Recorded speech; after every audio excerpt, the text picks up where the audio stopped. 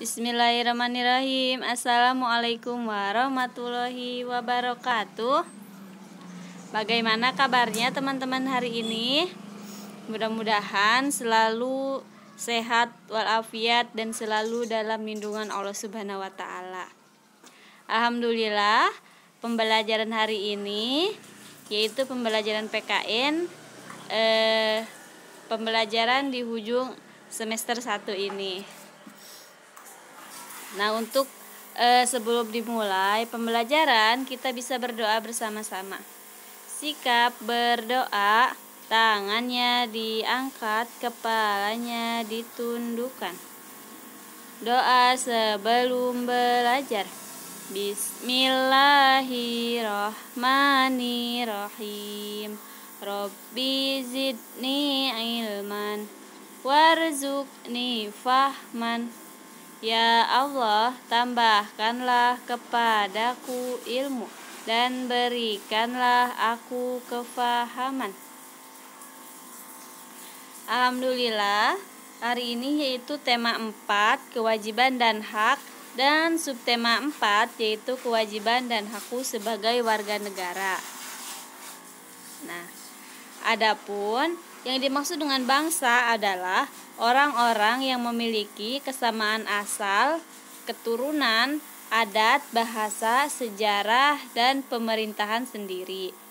Bangsa Indonesia adalah sekelompok manusia yang mempunyai kepentingan yang sama dan menyatakan dirinya sebagai satu bangsa di dalam satu wilayah Indonesia.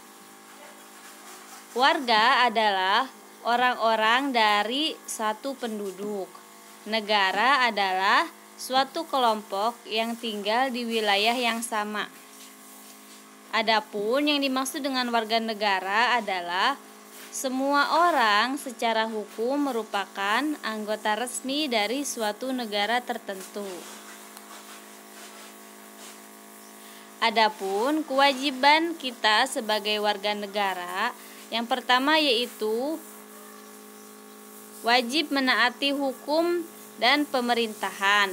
Yang kedua, wajib ikut serta dalam upaya pembelaan negara.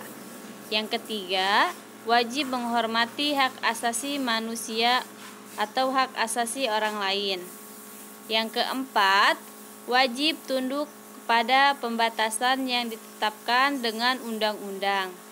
Yang kelima, wajib ikut serta dalam usaha pertahanan dan keamanan negara, dan lain-lain. Adapun hak kita sebagai warga negara, yang pertama yaitu hak atas pekerjaan dan penghidupan yang layak. Yang kedua, hak untuk hidup dan mempertahankan kehidupan. Yang ketiga, hak untuk membentuk keluarga dan menjalankan dan melanjutkan keturunan melalui perkawinan yang sah. Yang keempat yaitu hak atas kelangsungan hidup. Yang kelima, hak perlindungan. Yang keenam, hak kepemilikan. Yang kedela, yang ketujuh, hak pendidikan. Dan masih banyak lagi. Salah satunya bisa ditambahkan yaitu hak untuk memilih keagamaan.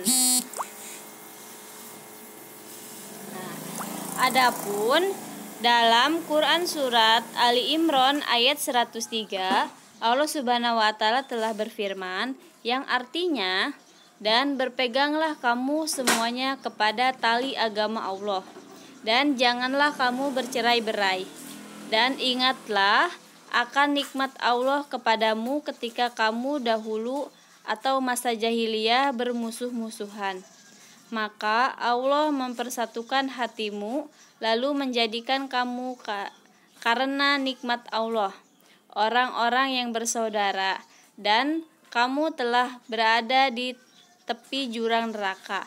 Lalu Allah menyelamatkan kamu daripadanya. Demikianlah Allah menerangkan ayat-ayatnya kepadamu agar kamu mendapatkan petunjuk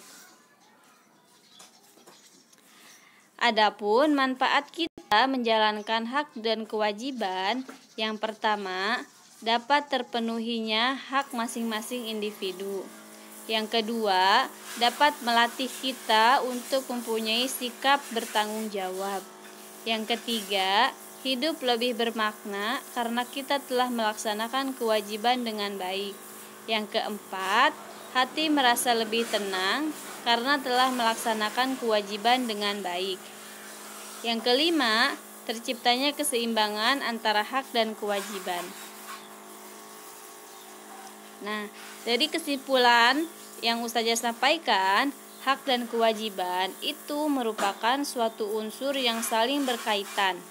Karena dengan hak dan kewajiban dilaksanakan secara seimbang, tentunya kita menciptakan sebuah kehidupan yang sejahtera. Manfaat menjalankan hak dan kewajiban dengan baik adalah hati merasa lebih tenang, tercapainya keseimbangan antara hak dan kewajiban dan masih banyak lagi. Adapun dari pemaparan tersebut, teman-teman memiliki suatu proyek yaitu buatlah poster dengan tema Hari Kemerdekaan Negara Indonesia dan presentasikan melalui video. Terima kasih. Eh, kita tutup dengan membaca hamdalah bersama-sama. Sikap berdoa, tangannya diangkat, kepalanya ditundukkan. Membaca hamdalah bersama-sama. Alhamdulillahirabbil alamin. Segala puji bagi Allah Tuhan semesta alam. Terima kasih. Wassalamualaikum warahmatullahi wabarakatuh.